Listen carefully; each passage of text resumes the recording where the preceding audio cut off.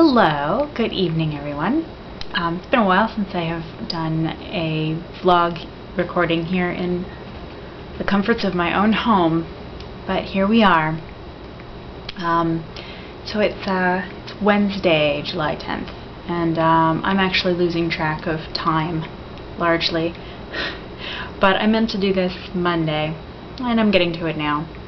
Uh, I don't have a whole lot in terms of planning news to say, except I have made reservations for the Crystal Palace um, for early Thursday. Actually, they filled up, and I thought, well, I'll just I'll try back two more times, see if anything's opened up, and something opened up. Woohoo! And the other thing is, I went ahead and I ordered um, Mickey's Not So Scary Halloween party tickets. This is a lifelong dream. Um, so I guess now I have to go. You know, darn it. There's no way out now. So this should arrive in about two weeks. And um, I will show them off on my next, not my next update, but the next update after they arrive. I'll show them to you guys. Um, other than that, I don't have a whole lot worth talking about, so I decided I would ask some questions of my friends on Twitter. So only two people gave me uh, things to answer, but that's okay. Uh, that means that I have time to answer both of them. So the first question is from Andrew, uh, at Andrew C. Fran on Twitter, and he asked me, what is my favorite 3D show at Disney World? Which is a good question, because I actually, I have seen all four. I like all four. Um, previously, uh, at Epcot, I did not like Honey, I Shrunk the Audience. I just, I felt like it was old. Um, I, I'm a huge, huge Michael Jackson fan. Captain EO is not my favorite, though. Um, actually, it's now tied for third because I liked seeing it again. I like Michael Jackson, but they need to get a new, they need a new movie. They just do, you know.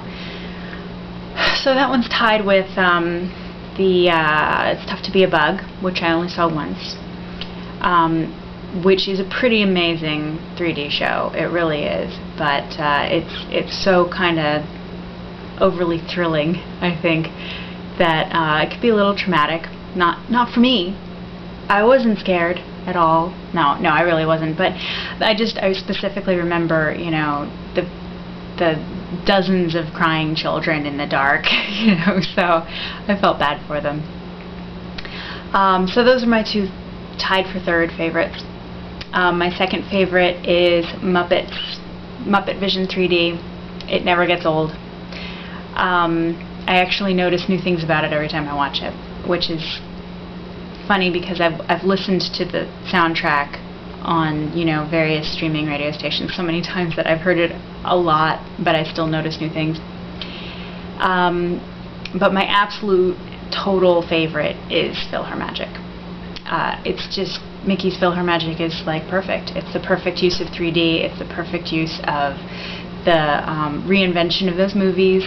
Um, it's the perfect use of the effects. I love the wind blowing in your face on the carpet scene, the flying scene. Um, it it's actually made me like uh, I just can't wait to be king a lot more than I did in the actual movie of Lion King. Um, it I love it. And and the Ariel scene makes me cry, which uh, The Little Mermaid makes me cry in general. So, but I always get a lump in my throat during that scene in PhilharMagic too.